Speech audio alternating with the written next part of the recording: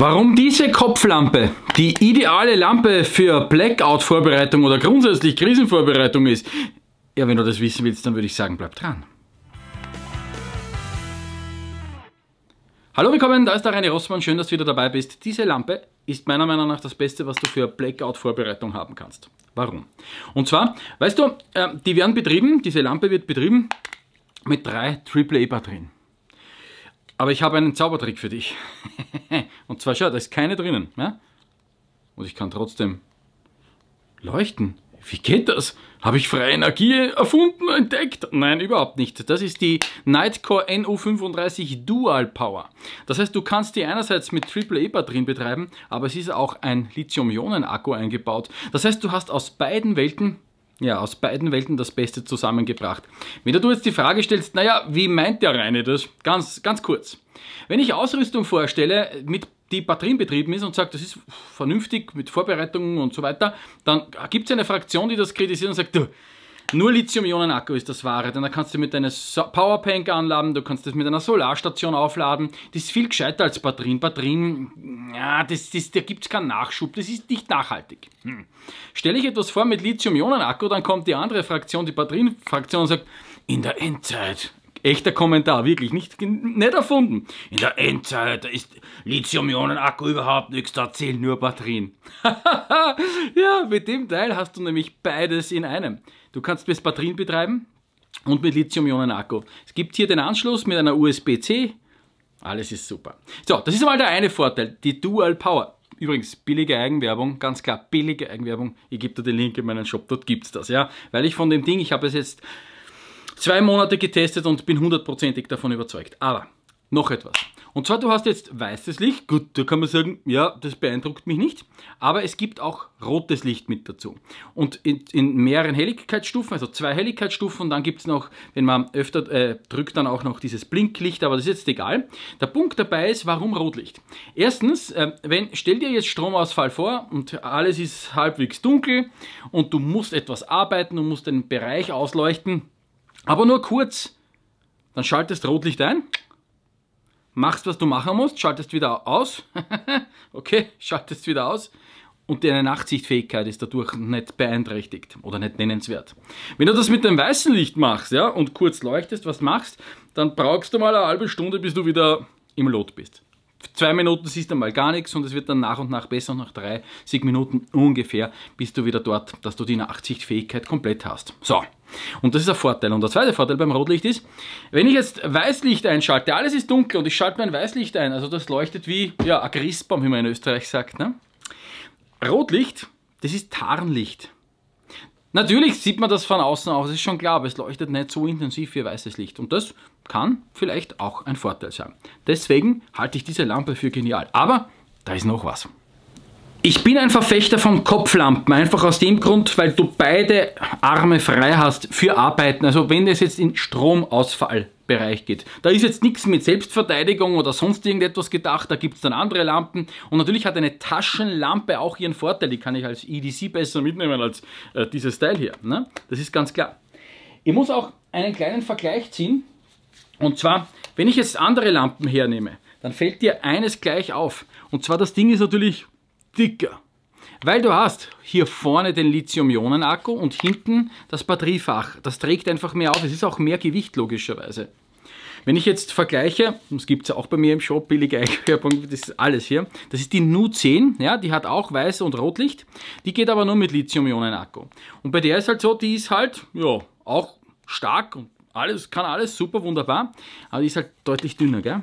Das siehst du schon und auch deutlich leichter. Und das musst du halt bewusst sein. Also alles hat so seine Vor- und Nachteile. Und bei einer Kopflampe ist halt alles, was ein bisschen größer ist. Aber es geht. Es geht bei dir auch mit Batterie, wenn du Batterien eingelegt hast, man kann beide gleichzeitig eingelegt haben, das zeige ich dir noch. Es braucht keinen Quer, Querstrebe sozusagen oder weiteres Chord, um das festzuhalten. Also das sitzt trotz alledem wunderbar. Du kannst das verstellen natürlich, ja, Winkel verstellen. Das ist einmal das eine. Dann hat sich Nightcore hier noch etwas überlegt. Standardmäßig, also damit man die auch in einer Tasche tragen kann.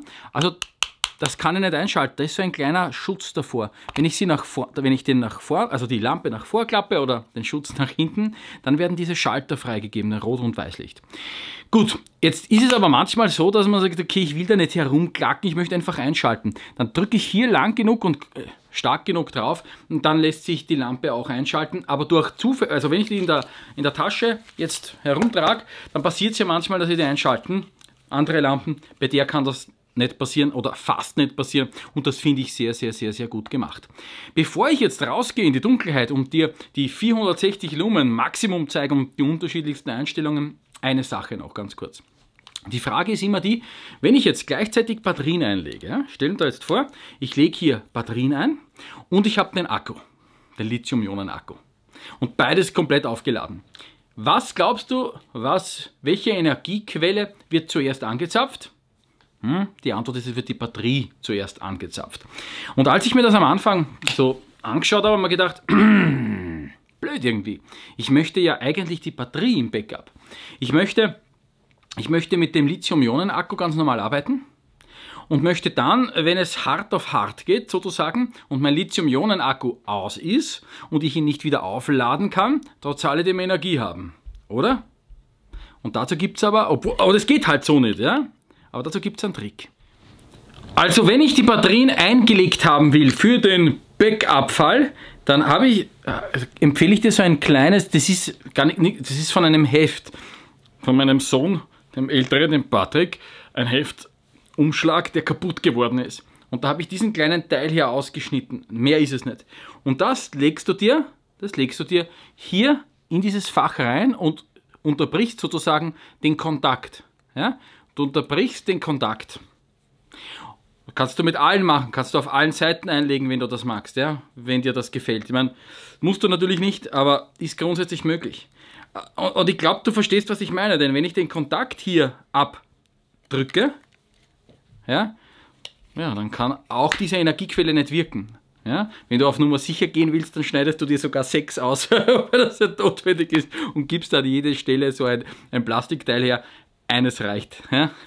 eines reicht. Beziehungsweise gibst halt drei her und gibst überall eins rein. Dann bist du auch auf der sicheren Seite, wenn dir das wichtig ist. So, und damit habe ich es abgeklemmt und kann das jetzt mit mir führen. Natürlich ist das jetzt deutlich schwerer, weil ich diese drei Batterien eingelegt habe. Also das ist eine Möglichkeit. Oder wenn es dir ohnehin um den Blackout-Fall geht und du sagst, okay, ähm, das ist mir eigentlich eh alles egal.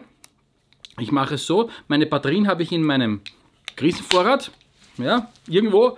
Und mit dem arbeite ich jetzt ganz klassisch. Und wenn sich das mit dem Lithium-Ionen-Akku nicht mehr ausgeht, dann gehe ich in meinen Krisenvorrat und hole meine AAA-Batterien und lege ein. Und die Sache ist erledigt. Hm, eigentlich ganz cool. Alle technischen Daten ja, findest du unterhalb ja, von dem Video, gibt es einen Link in meinen Shop äh, oder hier oben beim i. Schau dir das an oder geh auf Amazon, gebe da auch unten den Link auf Amazon äh, direkt zu dieser Lampe hier. So, da ist ein Lithium-Ionen-Akku mit 590 mAh. Ja? Das heißt, das ist durchaus auch ausreichend, ist jetzt nicht mega, ist aber auch nicht mini, ist Medium, ist alles gut. Und es gibt drei Modis im, äh, vier Modis, Entschuldigung, vier Modis im Weißlicht. Also einmal kurz drücken ist so ein Mini-Modus, so ein ganz leichter. Ich gehe dann raus und zeige dir das dann. Zweimal drücken ist schon stärker.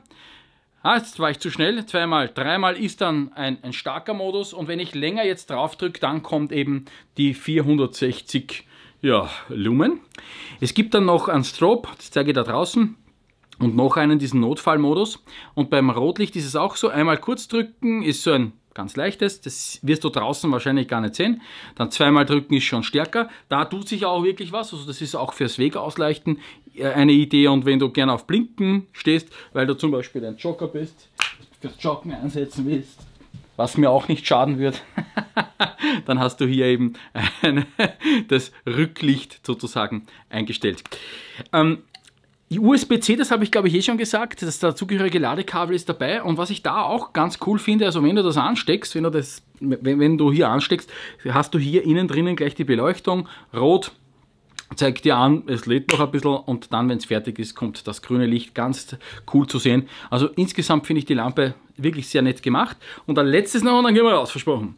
Hier am Band ist so ein bisschen, ja, so eine Glättfläche, Glättfläche, so eine Halt, ein, ein, zusätzlicher Halt einfach. Das ist jetzt nicht klebrig, also nicht so wie diese Klatschhände. Meine Söhne spielen mit den Klatschhänden und schmeißen alles, das ist richtig so klebrig, das ist hier nicht der Fall. Aber es ist einfach noch einmal ein Halt, damit diese Lampe auch gut sitzt. Wobei, wie gesagt, auch wenn du die Batterien eingebaut hast, also so schwer wird das nicht. Aber sei es drum. Und jetzt gehen wir endlich raus und schauen, was sie kann. Gut, dann fangen wir an. Ja, einmal drücken ist der Mini-Modus. Der ist für den Nahbereich in Ordnung. Also ich sehe da jetzt gerade noch was, aber das ist, fängt die Kamera gar nicht ein. Dann schalten wir auf zweimal, da tut sich schon mehr. Okay, da siehst du schon den Schnee vielleicht auch die Spuren von meinen Kindern und vom Hund. So, dann dreimal, also das lässt sich schon sehen, da ist wirklich äh, Power dahinter. Und jetzt noch, noch einmal auf, auf Maximum. 2, 3 und und da, ja, es ist natürlich jetzt äh, kein Suchstrahl, aber es ist absolut ausreichend, um den Nahbereich wirklich so richtig fett auszuleuchten. Das gefällt mir sehr gut. Und ähm, gut, jetzt wollen wir uns noch das Rotlicht ansehen. Ja, auch der Nahbereich für das wirklich für das ganz nahe, das geht super. Und wenn ich jetzt eben zweimal drücke, dann kann ich auch, und das siehst du jetzt auch ganz schön, hier noch einmal ja, auch den Nahbereich mit Rotlicht gut ausleuchten. Ich äh, verzichte auf Strobe und ich verzichte auch auf diesen Notfall äh, Burst oder wie das Ganze heißt, weiß ich jetzt nicht, auf das äh, verzichte ich jetzt mal fürs Erste. Das ist glaube ich nicht so relevant. Es geht ja darum zu sehen, ja, was das an Leistung bringt. Also ich finde das Ding wirklich genial und kann es dir hundertprozentig empfehlen. Ich werde es in einen Langzeittest nehmen, aber ich kenne Nightcore und das ist alles Qualität und du kannst meiner Meinung nach dabei nichts falsch machen. Ideales Teil für die Blackout-Vorbereitung oder Krisenvorbereitung grundsätzlich, weil egal Weil ich immer wieder frage, welche Krise und bla und bi und bum. Das, was das Kernelement von all dem ist, was wir hier in unserer Zivilisation haben, das ist der elektrische Strom. Und wenn der weg ist, dann haben wir ein riesiges Problem, ein massives Problem. Das heißt, das ist das Kernstück. Und wenn du dich auf was vorbereiten willst, das sage ich immer wieder, dann genau auf den Stromausfall. Denn dann hast du alle anderen oder alle oder viele andere Dinge, so muss man es richtig sagen, auch im Griff. So, das war's jetzt. Nu 35 Dual Power, Daumen nach oben Teil. Ich gebe dir den Link, billige Eigenwerbung, eh ganz klar, zu mir in den Shop oder auf, auch den Link auf Amazon, wenn du es dort lieber kaufst. Schreib mal einen Kommentar, Daumen nach oben oder nach unten, ganz wie du magst. Abo da lassen, da geht's direkt in meinen Shop, ein paar andere Videos. Und don't be scared, be prepared, sorge dich nicht, sondern sei vorbereitet. Das ist der einzige Weg. Dein Reine Ross von bis bald und ciao, ciao.